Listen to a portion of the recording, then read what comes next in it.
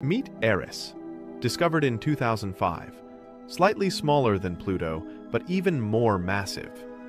Its discovery is what forced astronomers to redefine what it means to be a planet. If Pluto was a planet, then so was Eris, and countless others. That's when everything changed.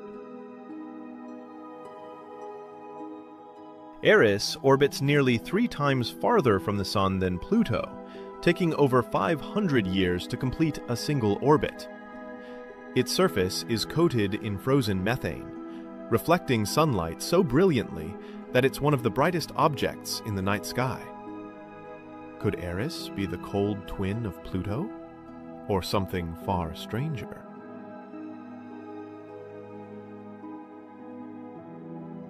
Then there's Haumea, spinning so fast that it's stretched into the shape of an egg. Haumea has two moons and a ring. Yes, a ring.